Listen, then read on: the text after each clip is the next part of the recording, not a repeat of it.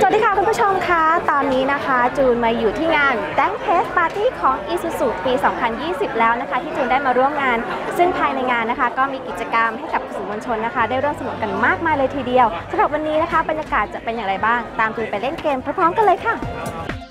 เมื่อวันที่ 4 กุมภาพันธ์ 2563 ณ โรงแรมเซ็นทาราแกรนด์เซ็นทรัลพลาซ่าลาดพร้าว